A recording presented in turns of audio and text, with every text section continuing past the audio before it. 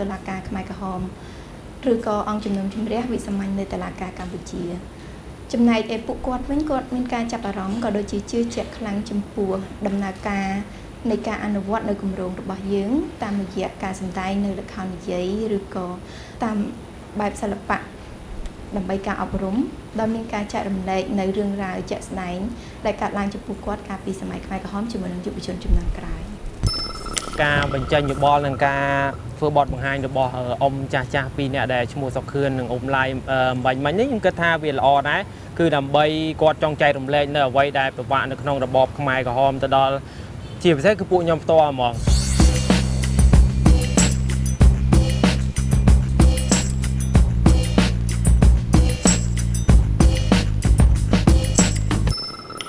ចឹងអារម្មណ៍របស់ខ្ញុំកាលណាបានទៅជែកប្រាប់ក្មេងៗទៅខ្ញុំដូចជាមានការធូរអារម្មណ៍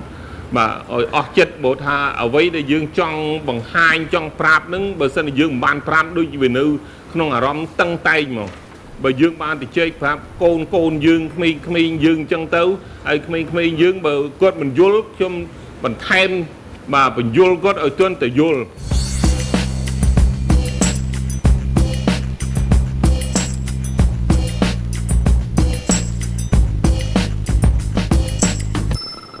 ពេលគេចងខ្ញុំយកទៅវាយចោលនៅគ្រូមាន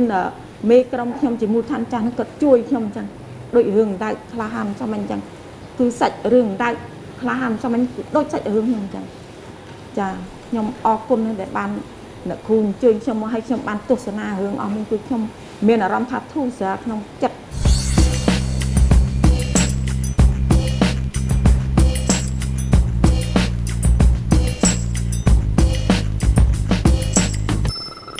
ក្រោយពេលរបបខ្មែរក្រហមរលំទៅហើយ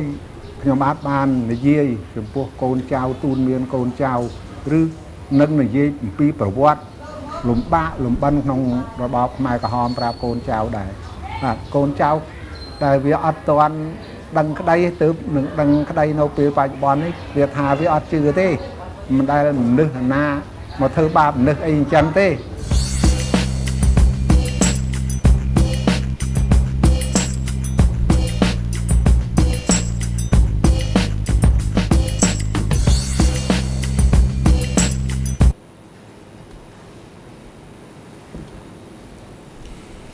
Et ce projet, Monsieur le Président,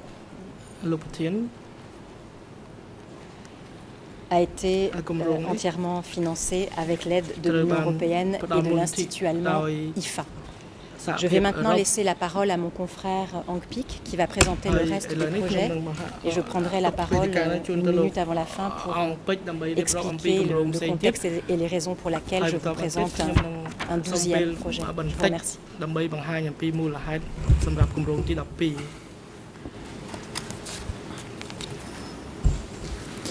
បាទសូមអរគុណលោកប្រធានសូមគោរពលោកធានលោកស្រីចៅក្រមភៀកគីនិងសាធារណជនសាជាថ្មីគម្រោងបន្ទាប់គឺជាគម្រោងដែលមានប្រភេទដែលជាការធានាមិនឲ្យកើតមានសាជាថ្មី ដែលផ្ដល់ប្រយោជន៍ទៅដល់ក្រមជាក់លាក់នៃដើមបណ្ដឹងរដ្ឋវិនីនិងជនរងគ្រោះ មានគម្រោងចំនួន3ដែលត្រូវបានរៀបចំឡើងដោយឆ្លើយតបទៅនឹងការខូចខាតដែលទទួលរងដោយក្រមជាក់លាក់ពីអ ுக ្រិតកម្មនៅក្នុងវិសាលភាពនៃសំណុំរឿង002គម្រោងទាំងនេះគឺផ្ដល់ប្រយោជន៍ដល់ដើមបណ្ដឹងរដ្ឋវិនីដែលរងផលប៉ះពាល់ដោយការធ្វើទុកបុកម្នេញទៅលើជនជាតិចាមវៀតណាមការរៀបចំការរៀបការដោយបង្ខំក្នុងរបបកម្ពុជាប្រជាធិបតេយ្យសហមេធាវីនៅមុខពិចារណាឃើញថាគម្រោងទាំងនេះផ្ដល់ផល ពាក់ព័ន្ធទៅនឹងវិធានការសំណងនៃការធានាមិនឲ្យកើតមានសារជាថ្មីទៀតហើយប៉ះបើទៅដល់ការខូចខាតដែលទទួលរងដោយក្រមដើមបណ្ដឹងរដ្ឋវិនីនិងជនរងគ្រោះទាំងនោះហើយដើម្បីលើកកម្ពស់ការយល់ដឹងអំពីអ ுக ្រិតកម្មដែលបានប៉ះពាល់ជាពិសេសដល់ប្រជាជននៃក្រមជាក់លាក់ទាំងនោះមេធាវីនៅមុខក៏សូមស្នើថាគម្រោងទាំងនេះត្រូវបានទទួលស្គាល់ ថាជាសំណងតាមផ្លូវតុលាការនៅក្នុងសំណុំរឿង002ផងដែរគម្រោងនេះមានគម្រោងប្រព័ន្ធផ្សព្វផ្សាយតាមសហគមន៍សម្រាប់ជនជាតិចាមនិងខ្មែរក្រហម អំពីជនជាតិចាមនិងខ្មែរក្រហមសមាគមវប្បធម៌កម្ពុជាអាល្លឺម៉ង់ដោយសហការជាមួយសហមេធាវីនៅមុខនិងអង្គភាពគាំពារជនរងគ្រោះបានបង្កើតនិងអនុវត្តគម្រោងប្រព័ន្ធផ្សព្វផ្សាយសហគមន៍ ប្រជាជនចាមនិងខ្មែរក្រហមដើម្បីជាប្រយោជន៍ដល់ដើមម្ដងរដ្ឋវិនីជនជាតិចាមគ្រួសាររបស់ពួកគាត់និងមនុស្សចំនួនក្រោយតាមរយៈការអប់រំជាសាធារណៈអំពីបទពិសោធន៍របស់សហគមន៍ចាមនៅក្នុងសម័យខ្មែរក្រហម តាមរយៈសកម្មភាពនៃគម្រោងអ្នកថតរូបផលិតករភាពយន្តនិងស្រាវជ្រាវអ្នកស្រាវជ្រាវចំនួនក្រោយអំពីសហគមន៍ចាមនឹងធ្វើការ ផលិតខ្សែភាពយន្តពីរខ្សែដែលឆ្លុះបញ្ចាំងអំពីរឿងរ៉ាវផ្ទាល់ខ្លួនរបស់ដើមបដងរដ្ឋវិនីជាជនជាតិចាម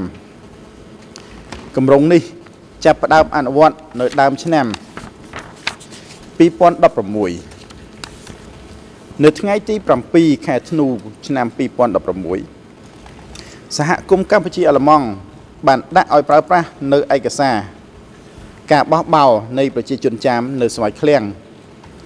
និងការដាក់តាំងពីប្រវត្តិទីតាំងពិព័រណ៍តាមប្រព័ន្ធផ្សព្វផ្សាយចម្រុះស្ដីអំពីប្រជាជនចាមនិងខ្មែរក្រហម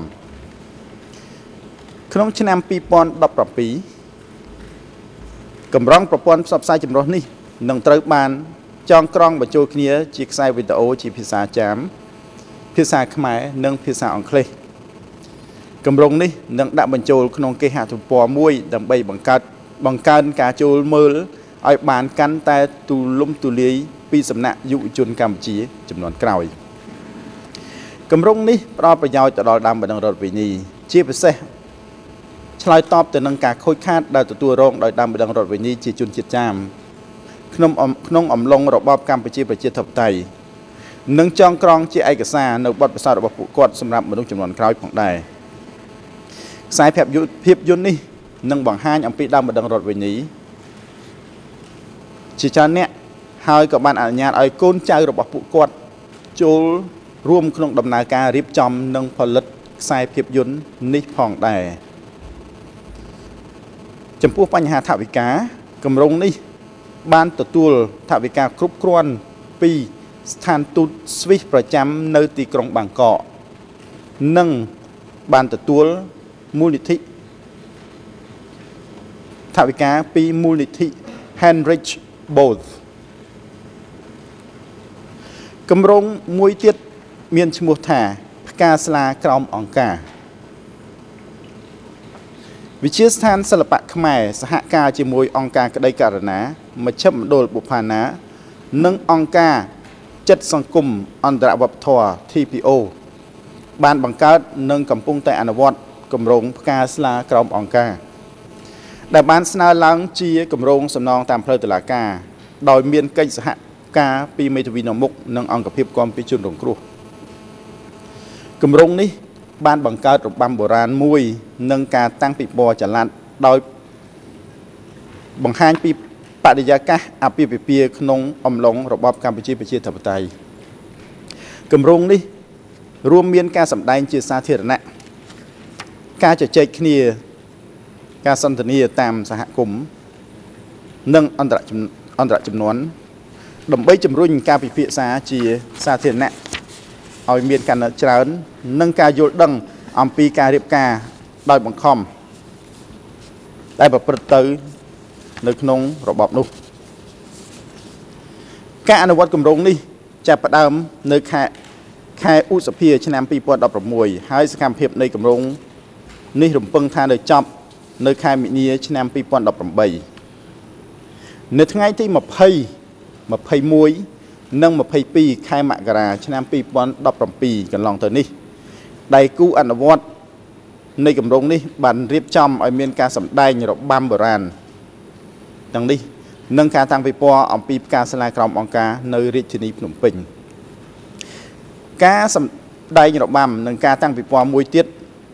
បានប្រព្រឹត្តទៅ និងប្រព្រឹត្តទៅនៅក្នុងខេត្តបាត់ដំបងនៅថ្ងៃទី6ខែឧសភាហើយមួយទៀតនឹងត្រូវប្រព្រឹត្តទៅនៅខេត្តកំពតកំពតក្នុងខែកក្កដាឆ្នាំ2017ដូច្នេះខ្ញុំសូមបញ្ចាំងជូនលោកប្រធានលោកស្រីចាក្រមនៅវីដេអូនៃគម្រោងការស្លាក្រមអង្គការដូចតទៅ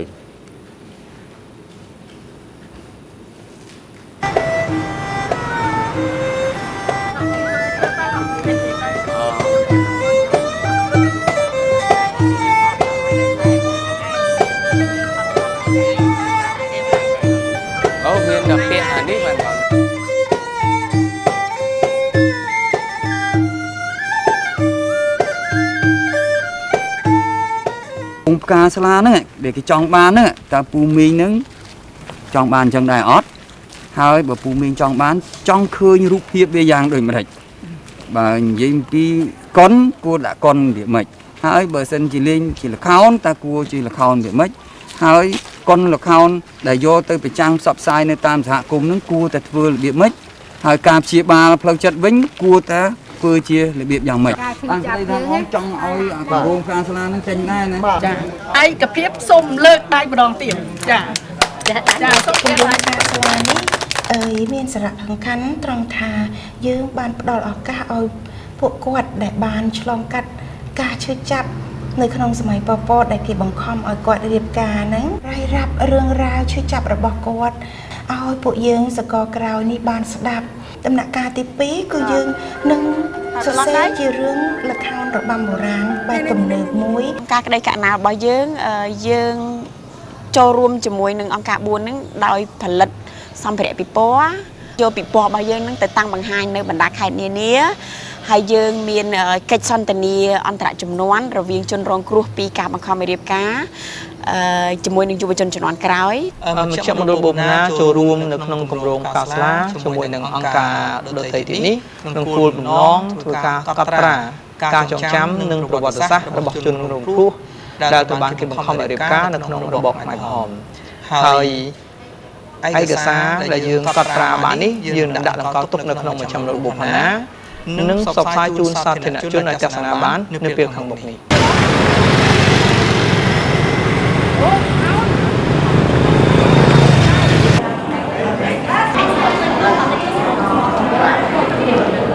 កម្មភាពរវាងភេទប្រុសនិងភេទស្រី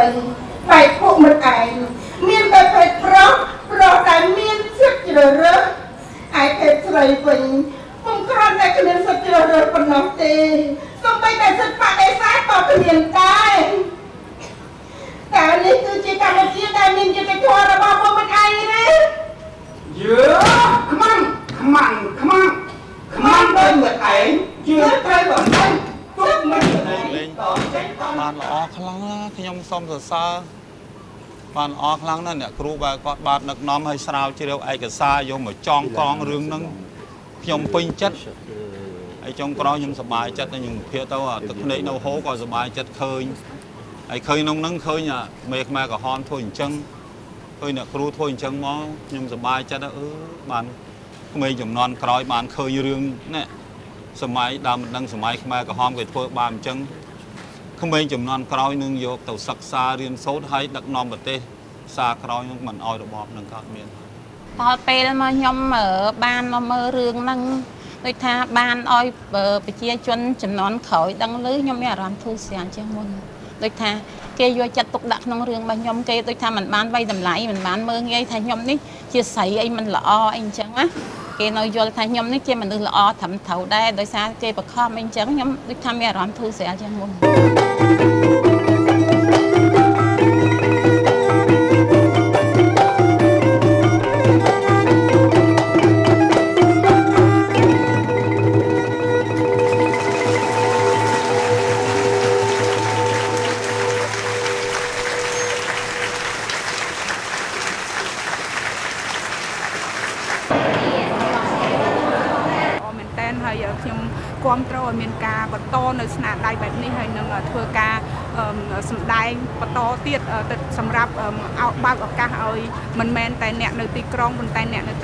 បទនានានេះគាត់បានដឹងឮនៅបញ្ហានេះហើយដែលយើងអាចរៀនសូត្របាន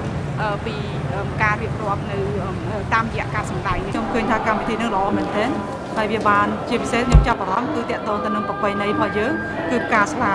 អញ្ចឹងវាវាជាអត្ថន័យមួយធំទូលំទូលាយសម្រាប់ឲ្យយើងដឹងបន្ថែមទៀតថាផ្កាស្លានោះមានន័យថាម៉េចសម្រាប់សង្គមខ្មែរហើយសម្រាប់អាពាហ៍ពិពាហ៍ខ្ញុំសូម អនុញ្ញាតបញ្ជាក់ផងដែរថាគម្រោងនេះបានទទួលថវិកាពេញលេញពីទីភ្នាក់ងារសហប្រតិបត្តិការអភិវឌ្ឍស្វីសក្រសួងសហប្រតិបត្តិការសេដ្ឋកិច្ចនិងអភិវឌ្ឍនៃសហព័ន្ធអាល្លឺម៉ង់តាមរយៈអង្គការ GIZ និងទីភ្នាក់ងារសហរដ្ឋអាមេរិកសម្រាប់ការអភិវឌ្ឍអន្តរជាតិ USAID កម្រងទី6គឺសម្លេងពីជនជាតិភាគតិចការលើកកម្ពស់ការយល់ដឹងរបស់សាធារណជន អំពីការប្រព្រឹត្តមកលើជនជាតិភាគតិចចាមនិងវៀតណាម ដែលរស់នៅក្នុងប្រទេសកម្ពុជា ក្នុងសម័យខ្មែរក្រហមអង្គការក្តីករណា សហការជាមួយសហមេធាវីនៅមុខនិងអង្គភាពគាំពីជនរងគ្រោះ បានបង្កើតនិងកំពុងអនុវត្តគម្រោងនេះ ដែលជាគម្រោងដែលបានស្នើឡើង ជាសំណងតាមផ្លូវតុលាការគម្រោងនេះផ្ដល់ប្រយោជន៍ដល់ដើមបណ្ដឹងរដ្ឋវិនីជាជនជាតិភាគតិចចាមនិងវៀតណាម តាមរយៈការប្រមូលចងក្រង និងបង្ហាញឯកសារស្ដីពីបទពិសោធន៍របស់ពួកគាត់ហើយក៏ផ្ដល់ឱកាសសម្រាប់ការសន្ទនាអន្តរជំនាន់អំពីការធ្វើទុកបុកម្នេញលើពួកគាត់នៅក្នុងសម័យខ្មែរក្រហម គម្រោងនេះលើកកម្ពស់ការយល់ដឹងអំជាសាធារណៈអំពីមូលហេតុនិងផលវិបាកនៃអំពើហិង្សាលើជនជាតិភាគតិចនិងការរើសអើងមកលើដើមបណ្ដឹងរដ្ឋវិនីដែលជាជនជាតិភាគតិចតាមរយៈការតាំងពិព័រណ៍ចល័តការសន្ទនាអន្តរជំនាន់ការបោះពុម្ពផ្សាយរឿងប្រលឹមលោកនិងវេទិកាល្ខោនគម្រោងនេះបានចាប់ផ្ដើមអនុវត្តក្នុងខែមករាឆ្នាំ 2016ហើយនឹងបន្តអនុវត្ត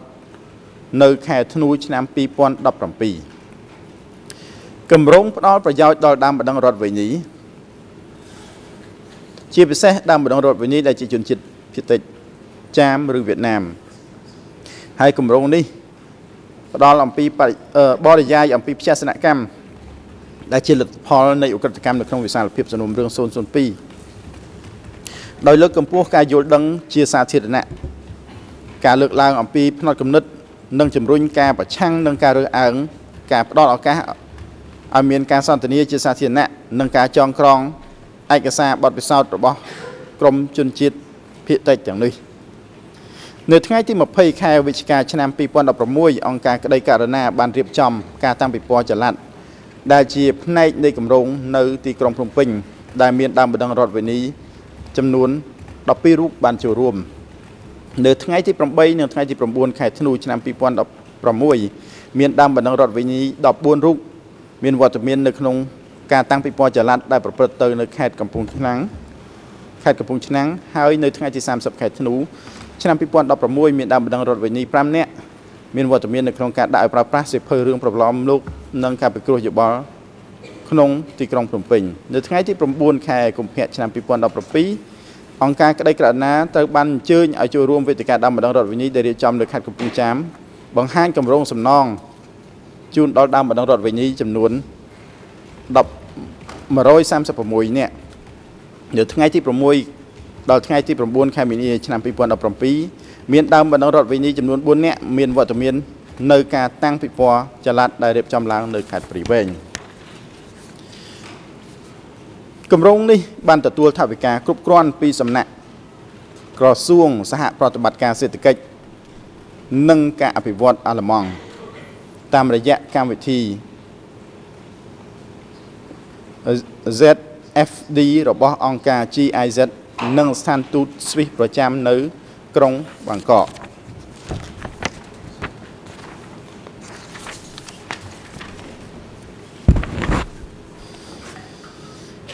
ប្រភេទគម្រោងផ្សេងទៀតដែលខ្ញុំនឹងលើក គឺជាប្រភេទគម្រោងដែលមានគោលគោលដៅផ្ដល់នូវការពេញចិត្តការសងសំណងសមូហភាពដល់ដើមម្ដងរដ្ឋវិនីតាមរយៈការធ្វើឲ្យពេញចិត្តសំដៅទៅលើការផ្សព្វផ្សាយរឿងរ៉ាវពិតរបស់ជនរងគ្រោះជាសាធារណៈរំលឹកការវិញ្ញាណក្ខន្ធរំលឹកវិញ្ញាណក្ខន្ធទៅដល់ជនរងគ្រោះនិងការបញ្ចូលរឿងរ៉ាវនៃឧក្រិដ្ឋកម្មនៅក្នុងសម្ភារៈ ផ្សព្វផ្សាយអប់រំនៅគ្រប់លំដាប់ថ្នាក់តាមបណ្ដឹងរដ្ឋវិញ្ញាភិកច្រើនបានស្នើសុំឲ្យមានការសាងសង់ស្ទូបរំលឹកវិញ្ញាណក្ខន្ធនិងការរៀបចំពិធីបុណ្យនានាហើយពួកគេអាចមានឱកាសនិយាយអំពីរឿងរ៉ាវរបស់ពួកគេដល់សាធារណជននិងមនុស្សចំនួនក្រោយសហមេធាវីនៅមុខយល់ឃើញថាមានកម្រងចំនួន4ដែលមានគោលដៅឆ្លើយតបទៅនឹងការផ្ដល់សំណងតាមរយៈការធ្វើឲ្យមានការពេញចិត្ត ដល់ដើមបណ្ដឹងរដ្ឋវិនីដែលបានទទួលរងជាសនកម្មបណ្ដាលមកពីឧក្រិដ្ឋកម្មដែលបានចាត់ប្រកាន់នៅក្នុងសំណុំរឿង002វគ្គ2ហេតុដូច្នេះសហមេធាវីនៅមុខសូមស្នើជូនអង្គជំនុំជម្រះមេត្តាទទួលស្គាល់គម្រោងទាំង4ដែលខ្ញុំនឹងលើកនឹងលើកដូចខាងក្រោមនេះការបោះពុំផ្សាយសិភៅស្ដីអំពីរឿងរ៉ាវដើមបណ្ដឹងរដ្ឋវិនី ដែលមិនបានផ្ដល់សក្ខីកម្មក្នុងសំណុំរឿង002វគ្គ2នៃអវតកអង្គការអង្គការសម្ព័ន្ធភាពការពារសិទ្ធិមនុស្សកម្ពុជា ច្រាក់ដោយមានសហកិច្ចសហប្រតិបត្តិការជាមួយសហមេធាវីនាំមុខនិងអង្គភាពគាំពារជនរងគ្រោះបានរៀបចំគម្រោងការបោះពុំផ្សាយសិភៅស្ដីពីដើមបណ្ដឹងរដ្ឋវិនីដែលមិនបានផ្ដល់សក្ខីកម្មនៅក្នុងសំណុំរឿង002នៅ អវតកដែលស្នើឡើងជាសំណងតាមផ្លូវតុលាការគម្រោងនេះបានបោះពុំសិភៅមួយអំពីរឿងរ៉ាវដាំបណ្ដឹងរដ្ឋវិនីដែលមានបទពិសោធន៍ឧក្រិដ្ឋកម្មនិងប្រធានបទដែលបានលើកឡើងនៅក្នុងសំណុំរឿង002គម្រោងចាប់ផ្ដើមប្រមូលរឿងរ៉ាវរបស់ដើមបណ្ដឹងរដ្ឋវិនីនៅក្នុងខែមិថុនាឆ្នាំ2015ហើយអនុវត្តចប់សពគ្រប់នៅខែមិថុនាឆ្នាំ2016 គម្រោងផ្ដល់ប្រយោជន៍ដល់ដើមម្ដងរដ្ឋវិញនេះដោយផ្ដល់ឱកាសដើម្បីចែករំលែករឿងរ៉ាវបទពិសោធន៍សម្រាប់ផ្សព្វផ្សាយនិងឲ្យមានការទទួលស្គាល់ជាសាធារណៈដូចជាការផ្ដល់សិទ្ធិអំណាចដល់ដើមម្ដងរដ្ឋវិនីនិងការបង្កើតអត្តន័យនៃយុទ្ធធរនិងភាពធូរស្បើយតាមរយៈការទទួលស្គាល់អំពីការឈឺចាប់របស់ពួកគាត់ក្នុងរយៈពេលនៃការអនុវត្តគម្រោងដើមម្ដងរដ្ឋវេនី ចំនួន30រូបត្រូវបានសម្ភាសអំពីរឿងរ៉ាវបទពិសោធន៍របស់ពួកគាត់ពាក់ព័ន្ធទៅនឹងអភិភិពាដោយបង្ខំការធ្វើទុកបុកម្នេញលើពុទ្ធសាសនិកជន ការប្រព្រឹត្តទៅលើជនជាតិភាគតិចមន្ទីរសន្តិសុខការដ្ឋានការងារឬសហករណ៍ដើម្បីសរសេរចូលក្នុងសិភៅសិភៅចំនួន500ក្បាលត្រូវបានបោះពុំសម្រាប់ចែកជូនដល់ដើមបណ្ដឹងរដ្ឋប្រវេណីនិ ងស្ថាប័នអប់រំគម្រោងនេះត្រូវបានអនុវត្តចប់សពគ្រប់រួចហើយ ដោយមានថវិកាឧបត្ថម្ភពីមូលនិធិ Heinrich Böll គម្រោងបន្ទាប់គឺជាគម្រោងទី8ដែលលើកនៅថ្ងៃនេះ គឺពេលដែលត្រូវចងចាំ ការប្រកួតតែងបទចម្រៀងនៅឆ្នាំ2016ដោយមានការចូលរួមរបស់យុវជន ក្នុងការផលិតនិងបទចម្រៀងដើម្បីការចងចាំអង្គការកម្មវិធីយុវជនអង្គការកម្មវិធីអភិវឌ្ឍយុវជនបានរៀបចំនិងអនុវត្តចប់សពគ្រប់គម្រោងសំណងពេលដែលត្រូវចងចាំ ការប្រកួតតែងបទចម្រៀងឆ្នាំ2016ការចូលរួមរបស់យុវជនក្នុងការផលិតបទចម្រៀងដើម្បីចងចាំដែលបានស្នើឡើងជាសំណងតាមផ្លូវតុលាការដោយសហមេធាវី ដោយសហការជាមួយមេធាវីនៅមុខនិងអង្គភាពគាំពារជនរងគ្រោះគម្រោងនេះបានទទួលស្គាល់ទទួលស្គាល់បទពិសោធន៍អ្នកដែលរស់រានមានជីវិតពីរបបសម័យខ្មែរក្រហមដោយជំរុញឲ្យមានការសន្ទនាអន្តរជំនាន់រវាងដើមបដងរដ្ឋវិនីនិងមនុស្សចំនួនក្រោយដើម្បីនិយាយអំពីការជឿចាប់របស់ដើមបដងរដ្ឋវិនីដែលជាលទ្ធផលនៃឧក្រិដ្ឋកម្មដែលត្រូវបាន ដែលជាកម្មវត្ថុនៃការជុតជំនុំជម្រះនៅក្នុងសំណុំរឿង002វគ្គ2សកម្មភាពនៃគម្រោងបានអនុវត្តរវាងខែមិនិនានិងខែធ្នូឆ្នាំ2016ហើយមានការគ្រប់គ្រងពីក្រសួងវប្បធម៌និងវិចិត្រសិល្បៈការប្រគំតន្ត្រីនៅវគ្គប្រាច់ព្រាត់បានប្រព្រឹត្តធ្វើនៅថ្ងៃទី25ខែធ្នូឆ្នាំ2016នៅចំពោះមុខសាធារណជនប្រហែល400នាក់ ខ្ញុំសូមបញ្ចាំងវីដេអូនេះជូនដូចតទៅ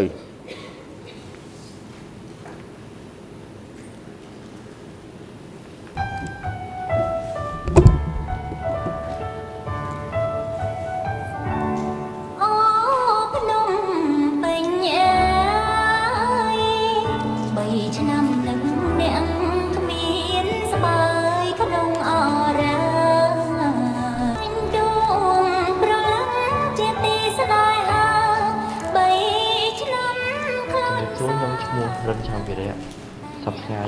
ជាអឺអ្នកសារព័ត៌មាន freelance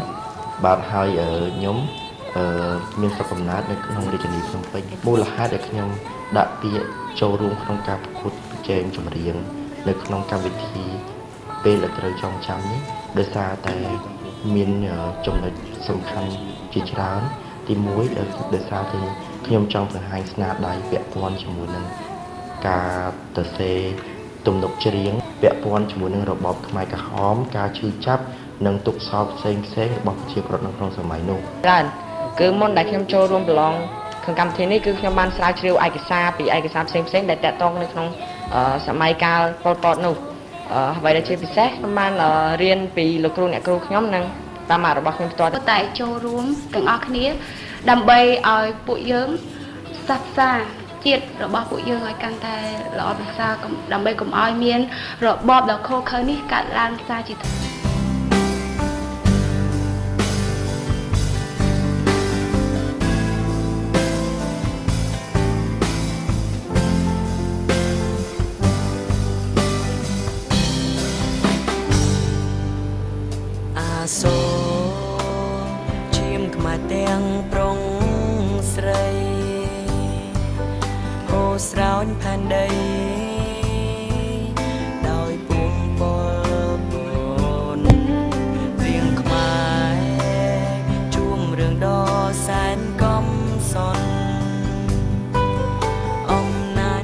ធំនៅក្នុងថ្ងៃនេះដែរ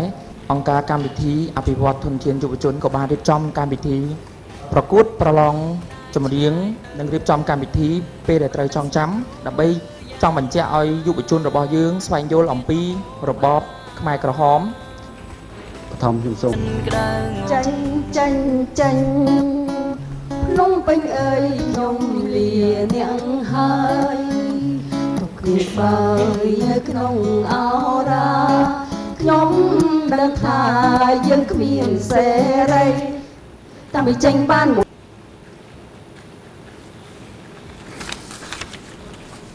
គម្រោងនេះបានទទួលថវិកាអំពីក្រសួងសហប្រតិបត្តិការសេដ្ឋកិច្ច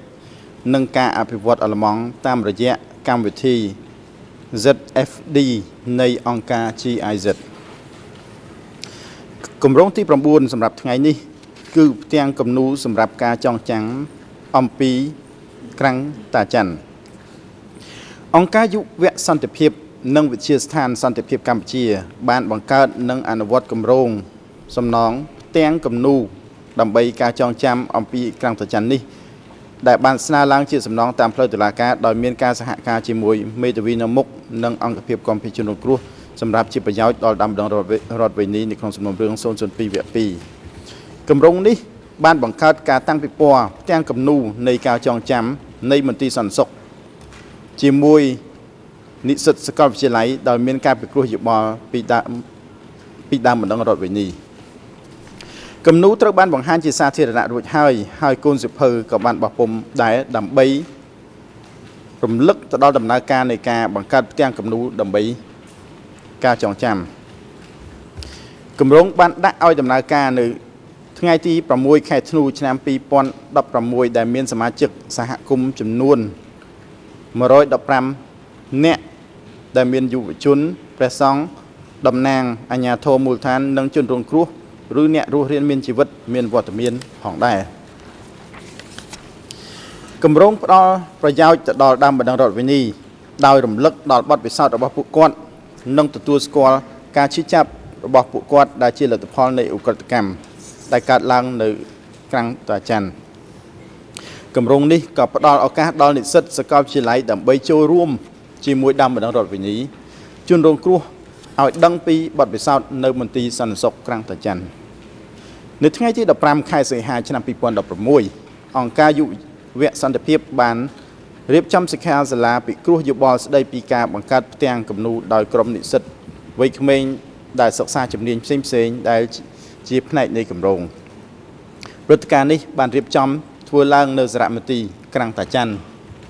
ដែលស្ថិតក្នុងខេត្តតាកែវហើយក៏មានវត្តមានដាំបដងរដ្ឋវិនីចំនួន4នាក់ចូលរួមផងដែរដាំបដងរដ្ឋវិនីចំនួន3រូបបានចូលរួម ក្នុងកម្មវិធីដាក់ឲ្យដំណើរការនៃគម្រោងផងដែរ គម្រោងនេះបានទទួលថវិកា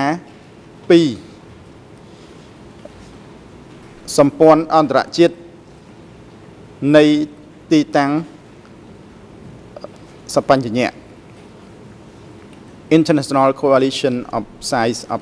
Conscience គម្រោងទី10សម្រាប់ថ្ងៃនេះ គឺការចូលរួមទៅពិនិត្យឯកសារ